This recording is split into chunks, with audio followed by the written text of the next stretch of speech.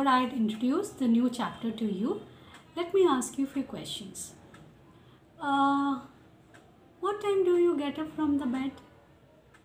I think by 6 or 7 o'clock, isn't it? Then, when you used to go to school, what time you used to get ready for the school? Probably if your house is close to the school, then you must be starting at uh, 7.45, isn't it? And what time your school starts? Do you know the time? Yes, your school starts at 8.15, isn't it? 8 you have to enter and by 8.15 your school starts. That is, you have uh, by uh, 8.15 you have to get ready for the prayer, assembly and then by 8.30 your school starts, the classes starts, isn't it? Then at what particular time do you have recess or break? When you were in the school, if you remember, you used to get your break at 11.20. Sorry, uh, it's 10.50. Okay, 10.50 and by 11.10 your break used to get over in this way. So, why am I telling you about all these timings? Sometimes I'm asking you about your, like, no, the time when you wake up, then your school time. So, from this, I think you have understood that what chapter I am going to teach you, isn't it? Okay, can you see this in my hand? What is it? Yes, this is a clock. Okay, it's a table clock. And so, I'm going to start with the time chapter. Okay, and uh, here this clock is used to, uh, what is it used for? It is used to read the timings. We should know what time what we are doing and we should maintain the timing also. Isn't it? Now in olden days you remember in olden days we used to how do we used to see the time or how do we uh, use to understand the timings? It is by the position of the sun. Okay.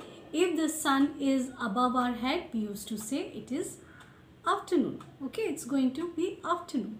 And if the sun is uh, like uh, is forming because of the sun if we are forming a longer shadow then we say either it is evening or it is morning. Like that we used to assume the timings. We didn't have any device to measure the time or to read the timings okay? Later as and when the time passed people like they developed in their understanding and then they started uh, uh, learning uh, more and more about uh, different subjects and all. So then later on the clock was discovered okay? And with the help of clock then we started reading the time okay? Now this clock has uh, if you see there are different types of clock isn't it? There are wall clocks then you have uh, this is called table clock and uh, the watch which we wear in our hand is called wristwatch. But the function or the purpose of all these devices are same to read the time isn't it? If you have noticed you see i'm showing you this clock. This clock is having three needles three needles means it has got three hands okay? The longer hand the longest hand is the minute hand okay? Uh, let me show you here. If you can see it very closely you see the red uh, colored needle which is moving very fast. It is the longest hand okay? So this hand is called the second hand which moves the fastest. After that you can see there is one more hand which is little shorter this one you can see this little shorter than the second hand. It's called the minute hand. Okay? And after that there is one more hand which is smallest the shortest hand is called the hour hand. Okay? So what do we understand from here the longest hand there are three three needles or in time we get to see three hands. That is one is first one is what what is the first one? The first one is uh, the longest hand is called the second hand. The short uh, like shorter hand is called the minute hand and the shortest hand is called the hour hand. So how many uh, like in the clock how many hands are there or how many needles are there? Three needles. Okay, the longest one shows the second time. Then the shorter one shows the minute and the shortest one shows the hour time. Okay, so basically in a clock we have three hands. Minute hand, second hand and hour hand. But in your class you will be learning about minute hand and hour hand only. Okay. So in this chapter, chapter number 10, you will be learning about the clock and its different hands. At the same time, you will also learn about how to read the timings in the clock. Okay. Then you will also learn uh, in like no related to time uh, in a week how many days are there then how many uh, like in a month how many days are there? In one year how many months are there? In one month how many weeks are there? Okay all these information we are going to learn in this time chapter. Is that clear to all of you children?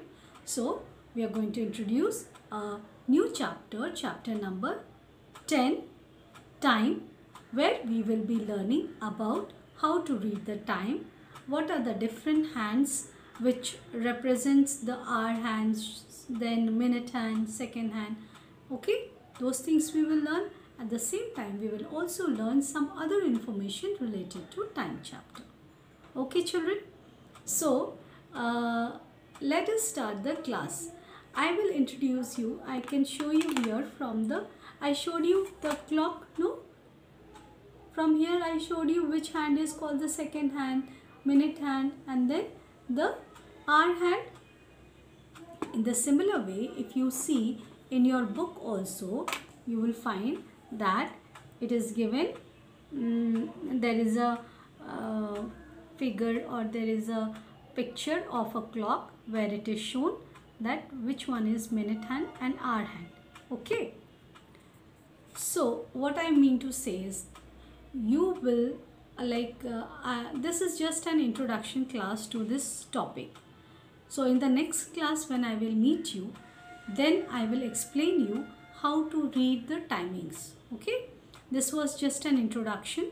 What you are going to do you will draw a clock in your copy maths copy and you will show the minute hand and the hour hand. That is going to be your homework for the day. Alright so that's all in this video. I'm not going to uh, like explain much about it. In the next class we will be discussing in details about this time chapter. Alright and one more important information children about your uh, final syllabus. You see from your uh, new maths explorer there will be four chapters and the name of the like name of the chapter let me tell you. The name of the chapter will be chapter number 5 first which is multiplication. Chapter number 5 multiplication.